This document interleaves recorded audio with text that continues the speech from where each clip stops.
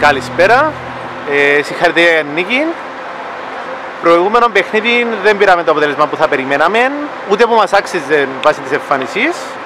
Πώς διαχειριστήκετε την, το αποτέλεσμα στην ομάδα; Εντάξει, δυστυχώς είναι και οι ήττες ε, μέσα στο πρόγραμμα.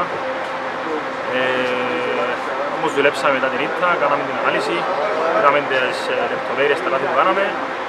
Όπως είδατε και εσείς, ήρθαμε σήμερα προετοιμασμένοι σε μια δύσκολη μέτρα. Ε, μπορώ να πω πήραμε το τρίποντα από το πρώτο μικρό.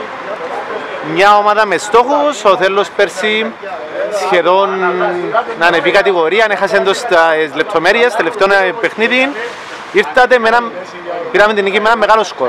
Ίσως που να μην περιμέναμε κιόλας. Σίγουρα κάθε χρονιά είναι διαφορετική. Πέρσι ο Θέλος πρωταγωνιστούσε, σήμερα ε, η φετινή σεζόν είναι κάτι διαφορετικό. Σήμερα δείξαμε από την αρχή ότι βρήκαμε για να διεκδικήσουμε τους τρεις πόντους.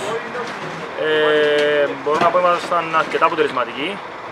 Ε, γι' αυτό και το σκορ το 4-0.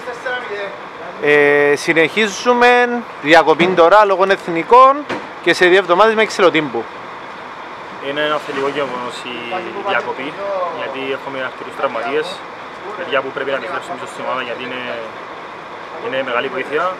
Ε, θα δουλέψουμε και θα πάμε προετοιμασμένοι για το επόμενο Λογικά, ε, όχι λογικά, θα είναι και ο κόσμος μας δίπλα στην ομάδα.